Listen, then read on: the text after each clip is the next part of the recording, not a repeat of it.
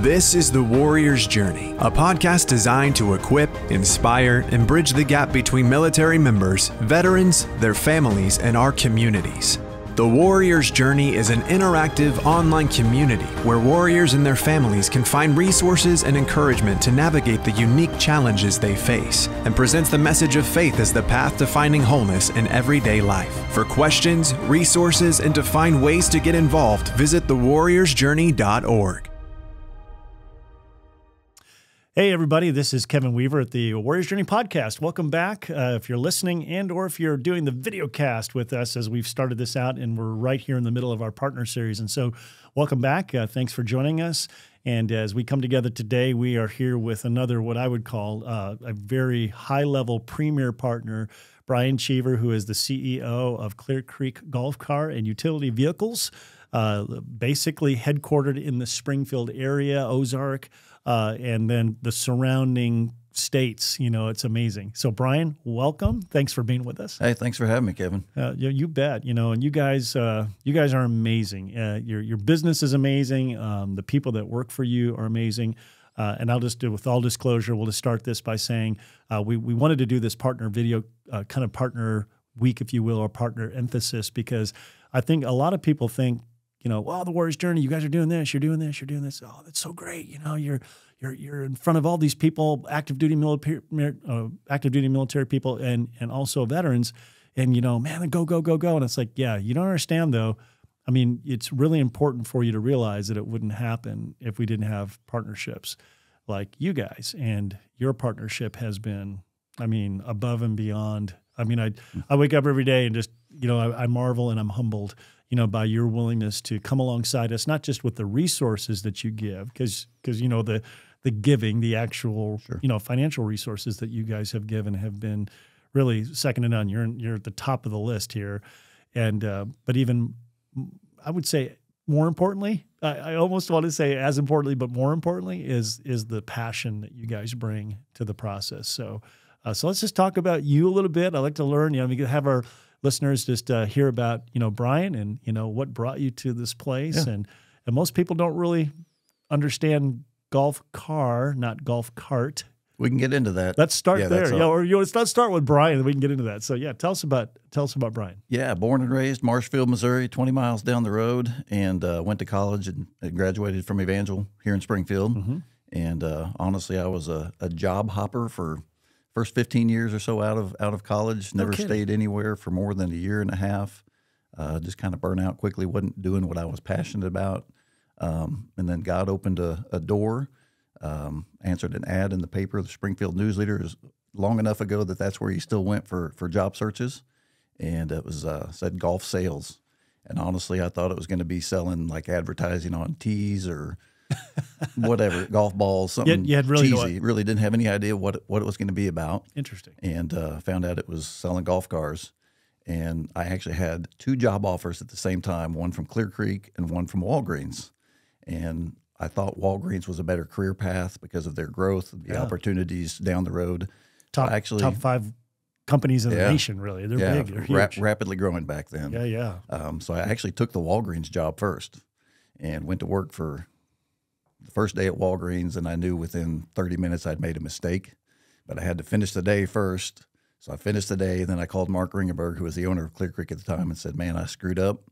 Um, is my position with Clear Creek is that offer still good?" And he said, "We haven't done anything else on it yet, so come in tomorrow." and we'll talk about it. Well, I said, well, I got to finish my work day at Walgreens first before I can come in. So can you meet me after work? And, nice. and he did, and uh, the rest is history. That's nice. So when you started, what excuse me, what was that like? I mean, you you started just just as a like a I, I mean I think of selling golf cars. It's is it similar to like a dealership where you'd sell vehicles, or is it is that similar? You know, what was what was? Yeah, somewhat similar. We were in a non-retail location. We're kind mm-hmm. of in mm-hmm. an industrial park. Mm-hmm. Um, I was actually hired to do golf course sales, but we also had walk-ins that come in, buy one for their lake home or farm or or whatever. Um, at the time, we had seven or eight employees, a pretty small operation. Wow. And Clear Creek had been around for about 15 years at that time, but really hadn't, it, it experienced some growth at that time, but hadn't really taken off yet. Um, yeah, that was hired to do golf course sales, and uh, that's what I did for the first seven years there. And then I got an opportunity to um, kind of become a managing partner with the company. And uh, Mark was stepping out then, getting ready to retire and move on to other things. He wanted to slow down, so I, I began to run the day to day business at that point in 2007, and uh, did that for the next 10 or 12 years until Mr. Jerry Marty came along in 2019. I actually, before that, I had tried to buy the business, but I didn't have, it's a very asset driven business. You got to have a pretty, pretty good balance sheet to, uh, Yeah. to do what we do. And uh, I didn't have that. And, and honestly, I look at that as a blessing because I, I wanted to buy it at that time. And I was very disappointed when it didn't happen. Um, but I think in hindsight, that was a blessing. I don't think we would have been able to, well, I know we wouldn't have been able to experience the growth and do the things we've been able to do since then. But Jerry came into the picture in late 2019. And uh, again, a God thing where um, initially he and Mark couldn't come to an agreement on buying the business. And uh, Jerry had kind of stepped away at that point, but he and I continued to talk. And then we ran into each other at uh, an event in Orlando, Florida, of all places. And we got together and visited a little bit there and had a really good conversation. I encouraged him to tweak his, all, his offer to Mark just a little bit and assured him that if he would do that, that it would it would meet Mark's qualifications of what he needed for the business Yeah. and uh, we'd make it worth his while once he did that. And and he took that step of faith and That's been a fantastic. great partnership ever since. Yeah, That's great because I mean you're not just working; you're also a part owner as well. correct. Yeah. Yeah. yeah, I had some ownership going into that, and then Mm-hmm. uh, I've acquired some more since then. And Good for you. yeah, Yeah, it's good for you. Would you?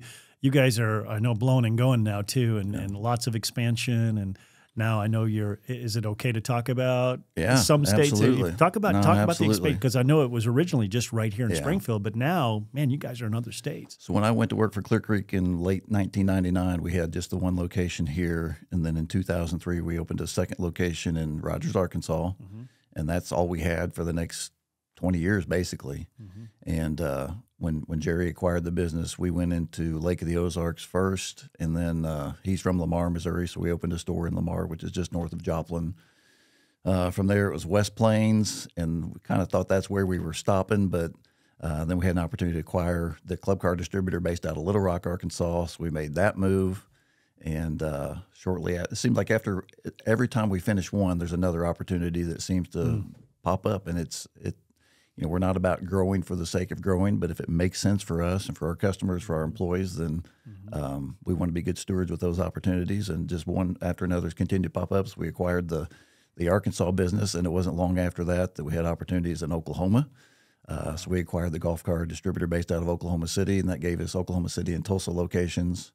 Um, Fantastic. a few weeks ago, we acquired Ozark Golf Cars, which is our was a competitor of ours. He had worked for us in college, and uh, had a, built a successful business after that of his own. And he'd kind of lost his quality of life. He'd never taken a honeymoon. He had a four year old little girl he wasn't spending any time with, just working way way too many hours as a sole proprietor of a small business often does. Yep. And uh, he approached us, and we came to an agreement, you know, just a month or two ago. And he's come back to work for us now and bought his business. That's fantastic. And right after that, Wichita. So we just acquired 67 counties in Kansas, including uh, Wichita, and just think we got a great opportunity there. So that's like the whole state, isn't it, or, or We- close to it? we had nine counties. So we now have 76 76 counties. I don't know how many there are in Kansas, but if you look at the map, we've got about 80% of the state now. I was going to say, yeah. once you get past Wichita, you know that's uh, Yeah, there's a not lot, much of, out lot there. of driving and Yeah. fence posts and cows and yeah. A few golf courses, but not many, right? Yeah, yeah. there's literally there's counties that don't have a golf course at all, Yeah. and most counties have one golf course. Right, right. So it's a lot of driving, but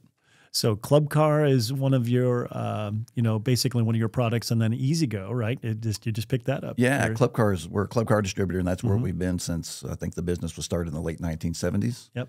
And recently, when we acquired Ozark Golf Cars, which is the gentleman I mentioned a minute ago that's come back to work for us, he was an E-Z-GO and Yamaha dealer. So Mm-hmm. we now have E-Z-GO at our five locations in Missouri, Nice. and we, we'll uh, keep Yamaha at one store, and that's the Clinton, Missouri store. That's awesome. That's very good. And Yamaha, yeah, and you're not just doing golf cars; you're doing utility vehicles, uh, motorcycles, and off-road stuff. I mean, it's really you guys have a broad scope of products now too. we which is do. Fantastic. We, we never intended to get into the power sports or, or motorcycle business, but the building that we're in here in Springfield, um, it's one we've seen for eight or 10 years. It's always thought it'd be a dream location for us. Mm-hmm.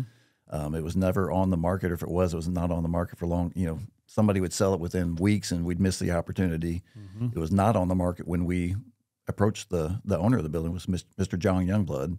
And uh, oh yeah, that's right. Yeah. he, he was willing to have that conversation with us and you know i think god's grace upon the, the whole the whole deal. It, the door opened, and, and we were able to acquire that building. But it was a power sports dealership at the time, and he said, "Well, I don't really want to sell the building and have to figure out what to do with the the power sports pieces." So he offered those at a very reasonable price Kawasaki, Suzuki, and Yamaha. So we, we got in the power sports and motorcycle business. And honestly, it's been a blessing. I mean, it's been been a very thriving part of our business. That's fantastic. Yeah. No, and it's such a great location right off of yeah. uh, 65 Highway. So this picture behind you here, um, a great photo. This was your old location. Really, would you call that the original location or? Um, no. When when I started working for Clear Creek, we are actually on the southwest part of town. Oh, were you really? Yeah. Okay, all right. Yeah.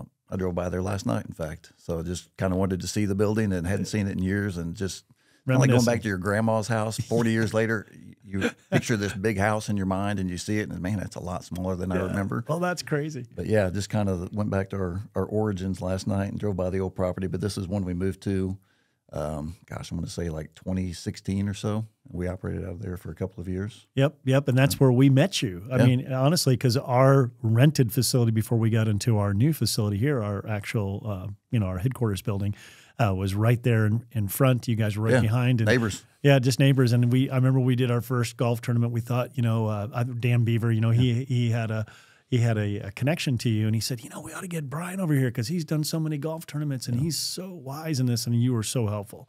You know, just the in the beginning, and that that was kind of the beginning of our relationship, and that was back in 2017. Yeah, yeah, a few years. Yeah, yeah, it's been a few years, and and then you guys these last couple of years have done some great things. You've You've helped us uh, with a couple of vehicles uh, two years ago with a customized golf car that we raffled off, and then last year we did the did the is it is it the proper term to say the Razor? I always call it the Razor. Yeah, the, it's a KRX, but yeah, it's essentially like what most people view as a, or think of as a Razor. Right, right, and that's that was an amazing vehicle, yeah, that's and really uh, cool. Yeah, and we we well actually raffled that one off, and we're getting ready to introduce a, a new one for this that's year. Right. We were talking about that yesterday. What we're going to do for this one. So yeah, really excited yeah. about that. We we typically try to introduce those at our gala, which yep. is coming up in May, and so uh, we'll uh, no pressure. You know, we'll I know you guys no, okay, we'll be great. ready. That's why after the meeting Monday, I'm like, man, we need to make sure we're on track with that. So That's we had a awesome. conversation about it yesterday, and we're going to do another onward. I think is uh, yes, yeah, golf so car. golf car. Yep. So yep. yeah, so uh, you know, I just you know, I know that we're we're somewhat in the in the beginning stages of this conversation, but I do want to say,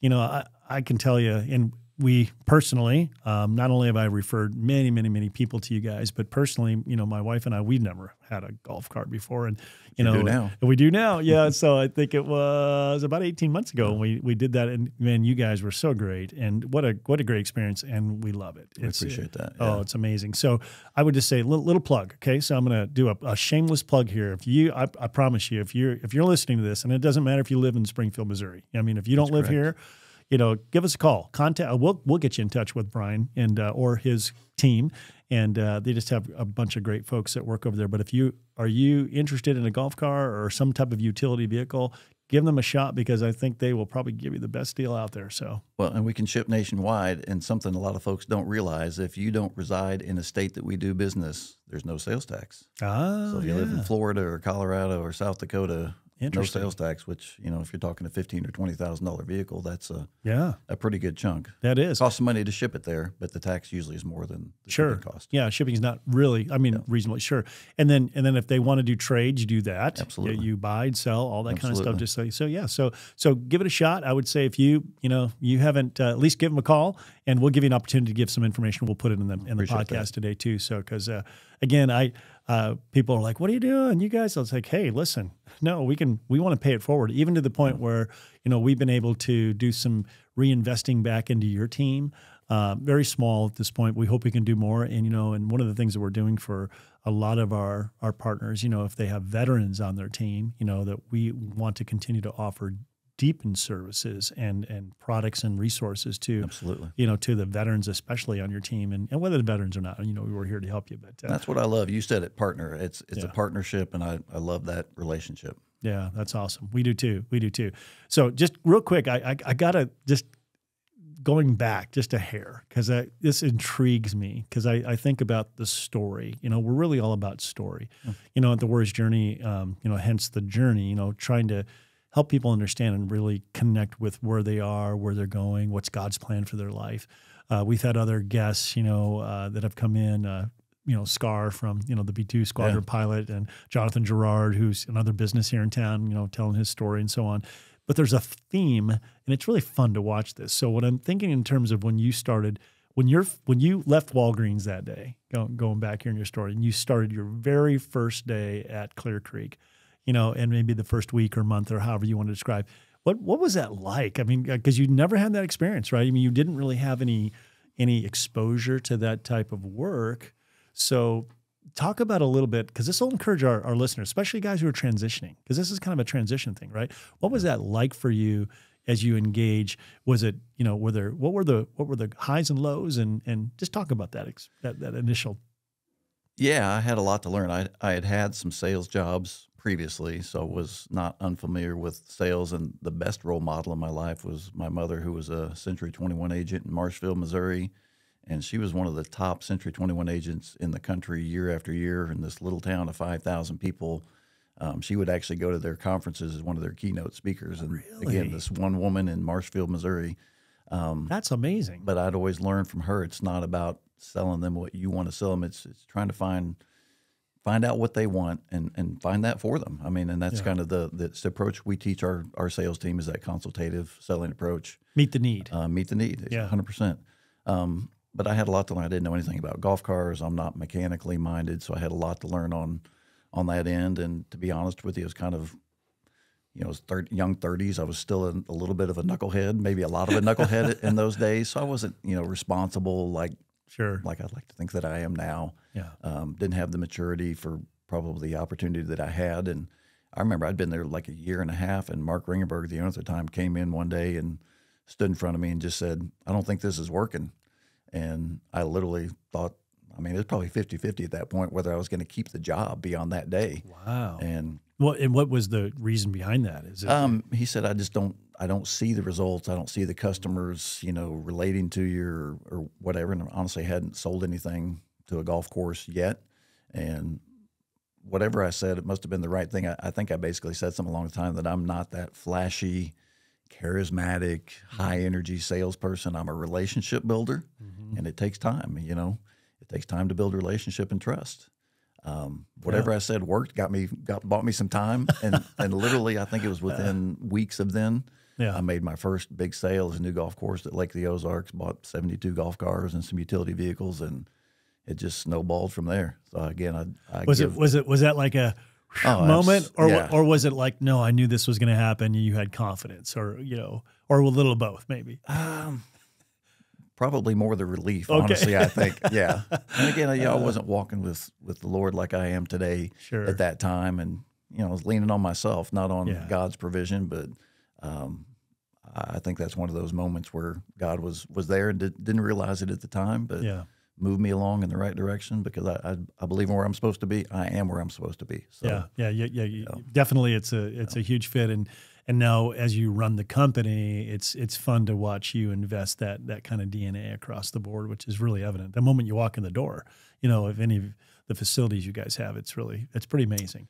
It's one thing I appreciate. I mean, there's to me thinking about capitalism in America is it's a wide open door. You get to do anything you want, but like you said, if if you're about the customer, and you know, it's one thing to say that, and it's another thing to actually implement those types of sure. things. And you guys, you sense that, you feel it. So you guys have done a great job with that. I appreciate that, and I, I think we take it a step further. It's not just about the customers; it's about our employees, and you know, we we are not successful without the people around us and mm-hmm. the teamwork and support and mm-hmm. and all that. So we we really try to invest very heavily in our. And funny you mentioned that. We, I had breakfast with a pastor friend of mine this morning, and um, he works with Life Church, and they've mm-hmm. gone from their first campus, I think, in 1995 or 1996 to 45. So 45 in 30 years is pretty exponential growth too. Yes, and, it is. And how they kind of assimilate that DNA from one location to the next as they continue to add churches. And we, we do a lot of the same things. It was encouraging to hear that that we're taking the same steps because that, that DNA is critical for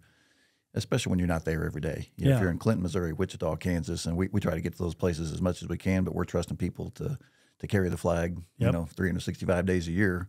Um, so yeah, DNA culture, you know, it's it's important, and it's not easy either. There's a little bit of an intentionality that You've goes got with to be very intentional. Yeah. Absolutely. I think sometimes when uh, and we talk a lot to military members, you know, when they when they make that transition from military to civilian, um, and you know as well, we've talked about this, and you, I know this has been something that uh, has been, I mean, maybe even a concern in your heart. I know we've talked about this even off off offline, just you and me, personal in our relationship, and I've just appreciated, hey, you know, praying for these guys. It's good to know, you know, because sometimes we don't realize some of the challenges they face, but as they're making that transition, it's they have a culture, a DNA. You know, um, I think most military people who have had an experience that has been positive in the military, it's some of the things that they miss is the you know the camaraderie Sure. and the mission, you know, feeling like you're a part of something that's bigger than yourself, and and uh, the fact that you know when you work hard or you wear your you know you wear your resume on your you know right here on your on your heart you know or on your sleeves.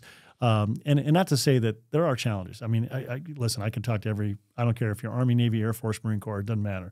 I, you, I, I can remember the stuff that was like, "Are you kidding me?" Right. you know, there's, and it's that way in every organization. But at the end of the day, when you feel like, "Hey, but you know, I have been uh, a part of something that's been pretty significant," or I have been able to contribute something that's been really great, or these are the takeaways, even if it's just I've learned so much about leadership, organization, not just what to do, but what not to do, and so on.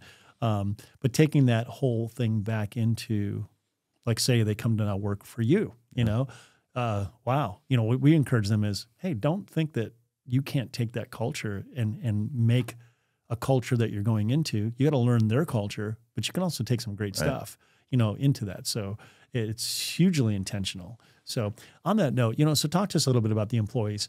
Uh, what what's what's the ideal employee for you, and then and and do uh, how do veterans fit into that? And I want to segue into then your heart for veterans. So Yeah. you maybe start with, uh, you know, what's the future? Are you are you guys a veteran friendly kind of group?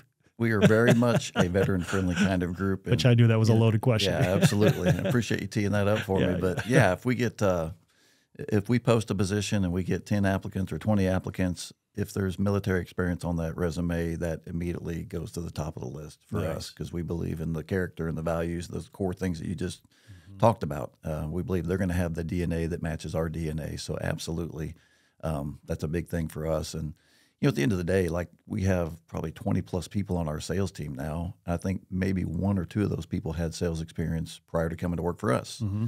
So we don't believe in the experience so much as the person. If they have the character, um, if there's somebody that's going to embrace our values, our culture, et cetera, Mm-hmm. we feel like we can teach them to sell our way or to do the things in any position, not just sales, but we can teach them the rest. Mm-hmm. Yeah, because it's just it's more than sales. It's, You've Yeah. got you got all kinds of stuff. Absolutely. So let me let me just pause for a second because this is huge, Ryan. I, I I and you probably maybe aren't even aware of just how powerful it is for maybe someone to hear that because we get over and over and over again. Yeah, people in the civilian world they don't. Oh, I have nothing to offer, or you know, I'm just a guy who was in the military. I don't know anything, or man, I was in for so long, and how does that translate to a civilian type of expression? And and I think they have this automatic assumption that a guy like you, a person who is, you know, a very accomplished business guy, uh, is going to look at them and go, "Yeah, you know, I don't, I don't have any desire to talk to you. You, you, you got nothing, you know," which is not the case. And so, so for you, for for you to say, "Man, if there's military there, that goes right to the top." If you're listening, please hear that because, and you're not, you're not uh, alone in this. I mean, we talk to many, many business owners that they they really do appreciate not the just the service that that person provided, you know, as a military member, but the things that they potentially, and I'll say potentially because you, you got to you got to bring it, right? You got to bring it. Just because you're in the military doesn't mean you're going to be a person of character, but you're going to be a person who has been around that kind of thing, and uh, you know the. I'm I'm going to guess if if you would. I'm, in fact, I'm not even going to guess. I'm going to ask you. Tell me what maybe would be the top the top uh, characteristics that you feel would be super important that sometimes you think that those military folks maybe have an edge up on. What what comes to mind?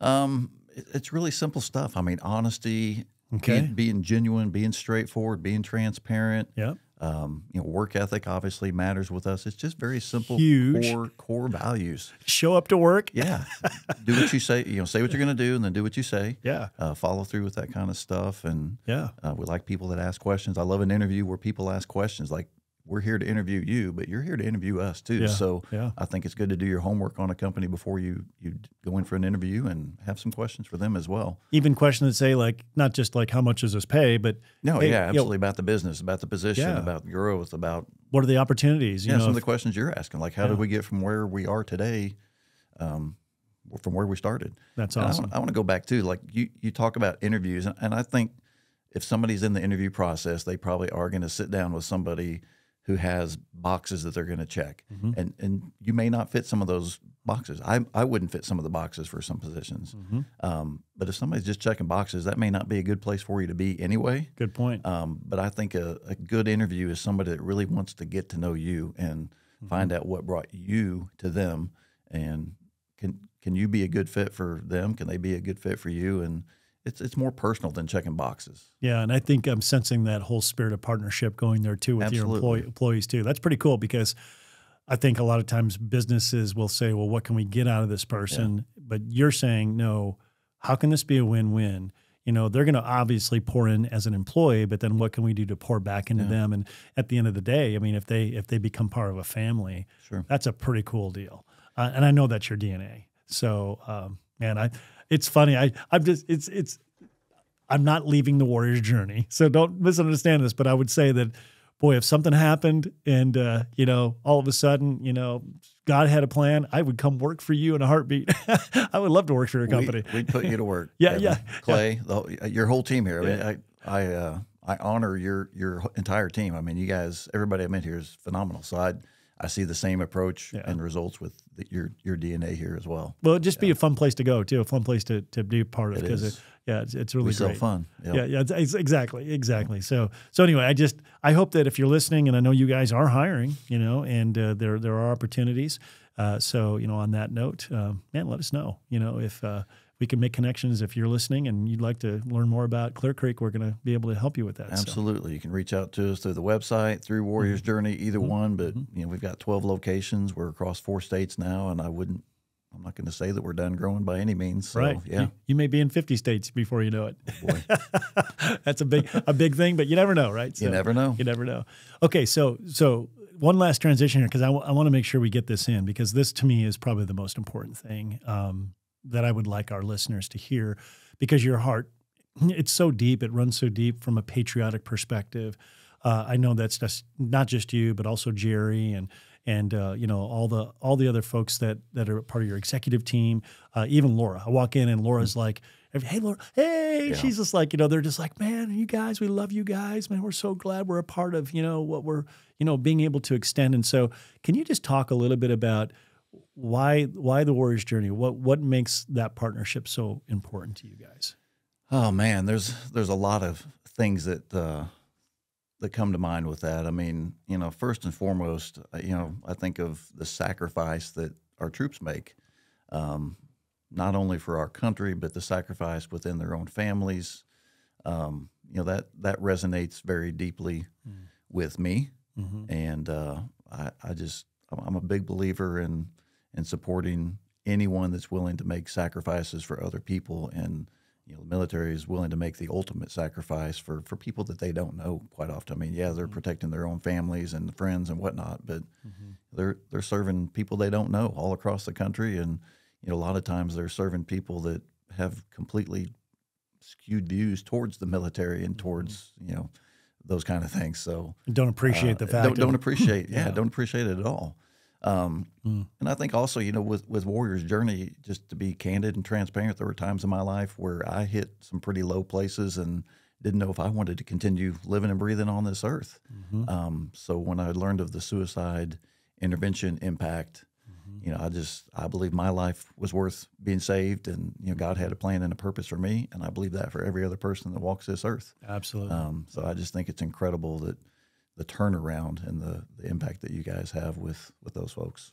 Yeah, and you and you've helped us, you know, to to expand that. It's interesting. I was looking at stats the other day, you know, back uh, right before we pulled out of Afghanistan. You know, just a couple of years ago, we were right around the 289 or so interventions, and then uh, just looked at our stats this last week, and now we're over at 2,050. You know, I think 2,059 is what we've had now direct interventions, and and the fact that we still haven't had one person that we've lost that we've engaged in but it's a miracle. It really is, and it's not. It's not us. It's it's the fact that we're. I think we're giving what I would consider to be a, a very robust relational engagement, talking about emotional fitness and physical fitness, um, you know, social fitness, mental fit, fitness. You know, all of that goes in with with uh, even the mental health side.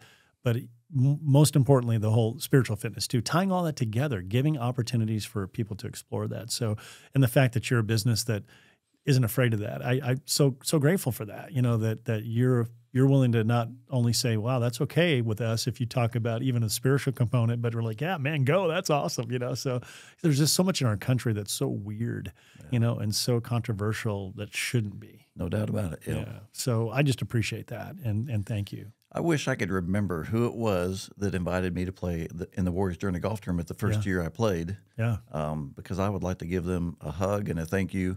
I didn't know what I was coming to. I didn't know what I was experiencing. I'm I'm a golfer. I was going to play in a golf tournament, and somebody else was paying for it. So it all it all sounded great. Why, right? Yeah. Why not? Yeah. Um, but man, I was so moved that first year.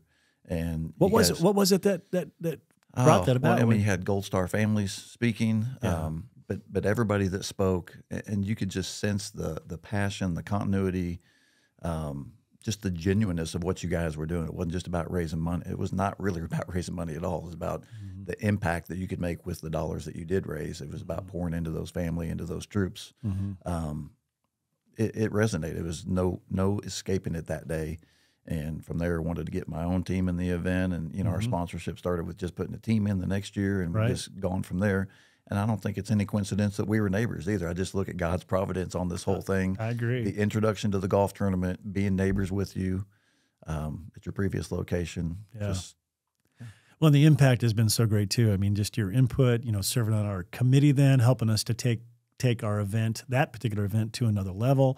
You've helped us with our gala, you know, giving us ideas, introducing us to other people, networking, and all of a sudden it's like this you know, it's like again, it's like this family feel, and I love that. And and I was telling my wife the other night, uh, telling Cayenne that you know we're so blessed. We're just so blessed to be able to not just this isn't about an organization. I mean, we are an organization, but but it's really a it's a movement. You know, it's a movement of people who are saying, and I love the fact that we have people like you that I mean, you've never served, yeah. you know, in the military, but you're serving now, and you're serving in a way that's very very powerful and the fact that you can recognize the sacrifices of those others. And I know you know you've got family. You, your grandfather served. And- my grandfather served, and uh, my mother's father. So yeah, both. I mm-hmm. guess grandpa's on both sides. Okay. Um, served. I don't know a lot about my mom's dad, what he did, but um, my my mother's father, my grandfather on my mother's side, um, served in World War II.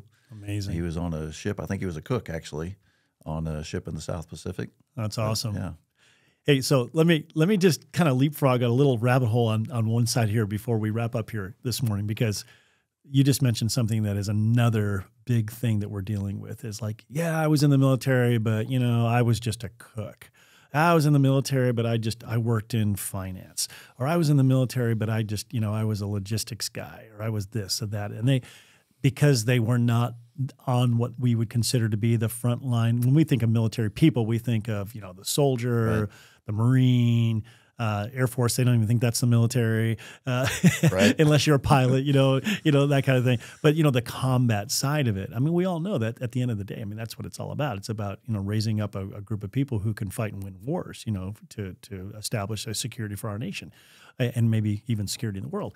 But these folks that do all, by the way, they make up the bulk of the military, or right. all these logistical logistical jobs just your opinion. You know, what's that? You did, you know, how, did when you say, "Hey, I pre- appreciate your sacrifice," do they count? Absolutely. And you know, we lost my grandfather uh, five, six years ago now. But I, would hear the stories. I mean, he was on a ship and he was a cook, but that ship came under fire. And when that ship was under attack, it was kind of all hands on deck. And yeah. He went down there cooking eggs at the time. He'd have to get up and help out with whatever was going on. I mean, yeah. So he was at risk as much as anybody else, certainly. And, and I think about it from a business perspective. If if we had the same mindset within the walls of Clear Creek, mm-hmm. um, that only the people that sell golf cars matter, whatever. But well, who's going to work on them? Yep. Who's going to deliver them? Who's going to pick them up when they break down? Yeah, uh, sell parts for them. I mean, every part is integral to the success. Who's of, doing the books? Absolutely. Yeah, who's doing logistics? Yes. And yeah, you bet. I mean, that's really important. Yeah.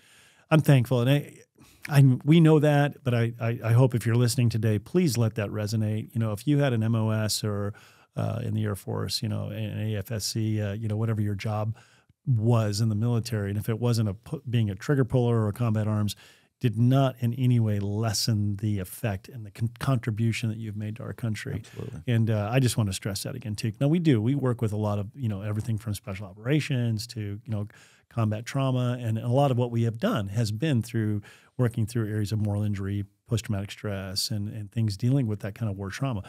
But listen, it, it's it's everybody, you know, everybody. And so uh, we don't distinctively make those separations That's either. awesome. So so I appreciate I appreciate Yeah. you sharing that because I think as for someone hearing a civilian say that, because you know we hear a lot of people say, "Oh, yeah, I say thank you for your service," and a lot of veterans are like, "Yeah, whatever," you know, I didn't really do anything, or or I did a lot, and if you knew what I did, you probably wouldn't be thanking me. You might think I'm some kind of a monster, you know. It's like, which isn't the case either, Sure. you know. So I I just appreciate you you verbalizing that. So.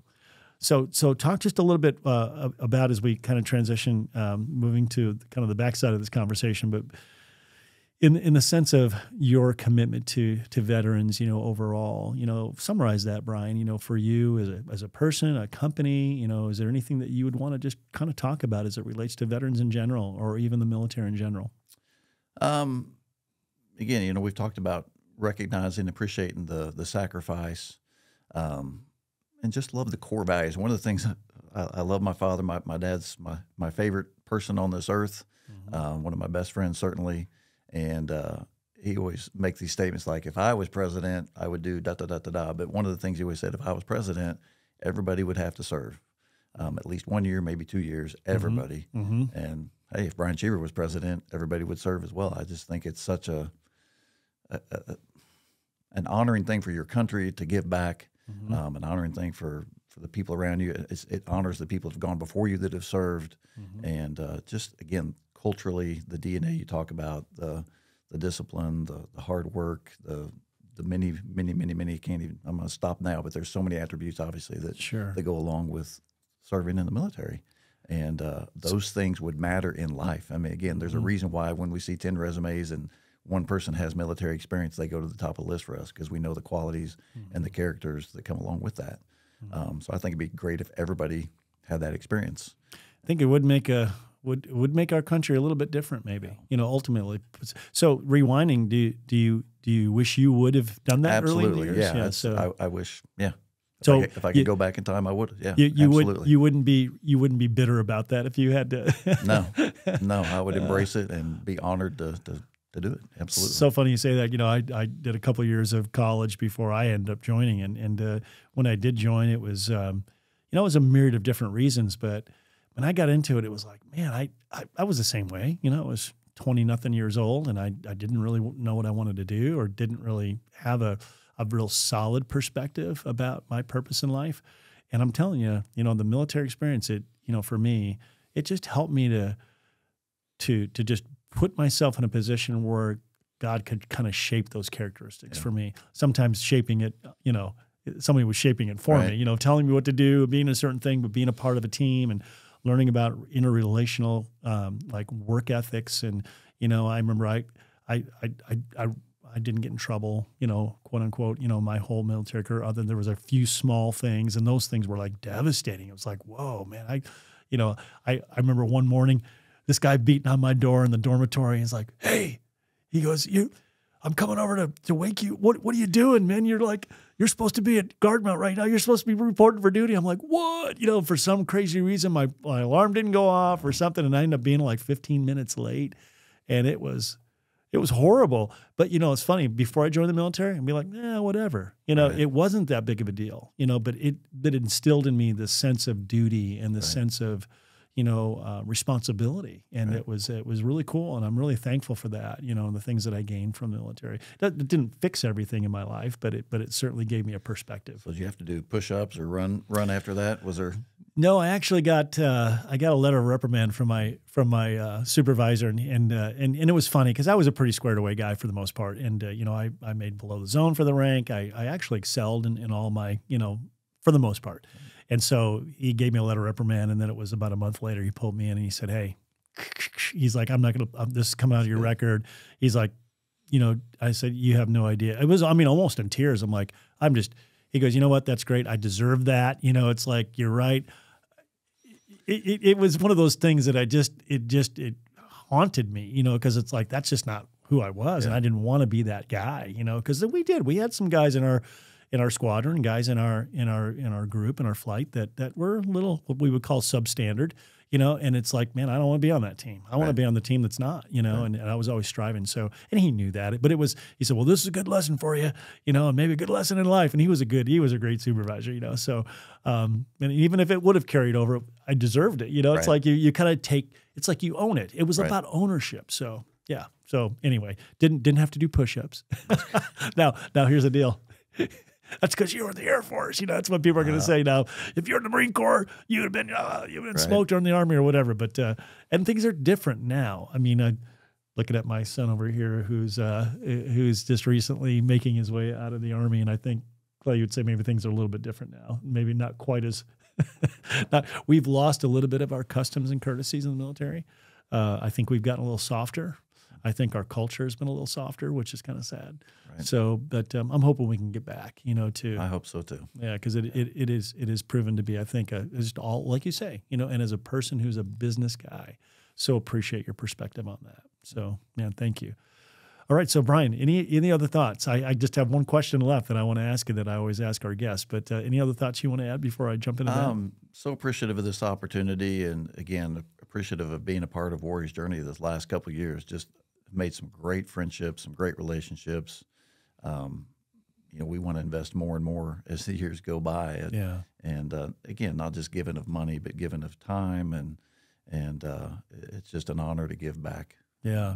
Well, and even recently, your willingness to give back in a huge way by serving on our executive board Yeah, too. I'm so was- excited about Uh, that. we, yeah. we are was- so excited to have you. Just we just uh, had Brian join our leadership team now, and uh, man, super excited about that. And uh, you're already adding a, a whole a whole nother layer. You're going to take us to another level. We're excited. I hope so. hope I can do my part. Certainly. Have no doubts, no doubts whatsoever. So, okay, so last question. You know, if you consider this as a huge platform, you know, for us to get in front of military members, and so you've got a voice right now in this in this moment. No, not to put you on the spot, but if you were to just give a, maybe a, a word of encouragement, some type of a summary or a thought or something that you would want to make sure that all of our active duty military members, veterans, and their families, you know, what would what would you want to say to them? Um, first thing I would say is thank you. I would like to look each one of them in the eye and, and shake their hand and say thank you. And uh, I, I think there's a lot of folks like me that, that didn't serve that that support you in, in ways that maybe you don't see every day, but we are so appreciative. Um, I know it's part of my daily prayers, praying for our military, for their safety, and not just that, you know, praying for their families too. Um, understanding that a lot of these folks are away from their families for prolonged periods of time. So we pray. I pray for the soldiers. I pray for their families. Um, and that's one of the things you, you know, I respect about Jerry. You know, every time we pray corporately, whether he's praying at lunch with four of us or if our team's praying, the, the entire Clear Creek organization, we always pray for um, our military families and friends. And That's awesome. Yeah, I'm just so thankful. I mean, we're, we're, we're blessed to have you serving our country and protecting us, and we honor you. No, that's awesome. And I, I know that you mean that sincerely. And I know that you know the ugly side of things too. We've you've you've you've asked those questions and you you get what we do here. And I know you've heard the stories. And so uh, if you're listening to this and you're a military member, don't please don't don't pass that off as like, oh, yeah, that's just a pat answer. I know that's not a pat answer for No. you. So, and I know there are a lot of people like you out there. So be encouraged. You know, if you're you're there as a uh, whether you're a veteran or currently serving, uh, just know that there are people that we, you know, we got your six, you know, we Yeah, got your back, absolutely. you know, and, and it's a, it's an important part of the process. So that's awesome. Appreciate that. So Brian, thank you. Finally, hey, listen, Clear Creek uh, golf car and utility vehicles website. What's the website for you guys? ClearCreekGolfCar.com. Okay. So Clear Creek, clear is in clear, uh, clear water. Clear vision. Yeah, yeah, clear water. The choice is clear. There you go. All right. Clear Creek uh, golfcar.com. Car, no T. Car, yeah, golf right, car, yeah, car yeah, dot not cart. We didn't get into that. Too. right. You know, it's like it's not a cart; it's a car. You pull a cart, you drive a car. there you go. Okay, you I love it. I love it. So it's great. So if you wonder why maybe they even cost a little more than you thought they would, because it's a vehicle. That's right. It It's a vehicle. It is a vehicle. So that's great, Brian. And it's been a joy to have you. Uh, joy to No, uh, thank you so much. Appreciate being it. here. Yeah. Yep. So hey, listen and, and please reach out to us. We'll get you in contact if you'd like to talk to uh, to Brian or if you want to get in touch with Clear Creek about anything. Actually, Anything. Absolutely. Yeah, yeah. I know Love that to they hear from you. Yeah, I'd love to see, or or stop by one of their stores and we can give you information on what those are located. Located. Uh, but thanks for joining us, and uh, we're looking forward to ha- having you back next time. And uh, again, please know that there's anything we can do, any way that we can help, any way we can assist. It could be a it could be a crisis, but it could just be a question. You know, everything in between. So don't hesitate to contact us at twj.org. We'll look forward to seeing you. And until next time, we hope you have a uh, just have a, a wonderful rest of the day. So we'll see you next time. Thank you for listening to the Warrior's Journey podcast. Be sure to leave a review and to ask questions, give, or get involved. Visit twj.org today. The Warrior's Journey Warriors helping warriors heal invisible wounds.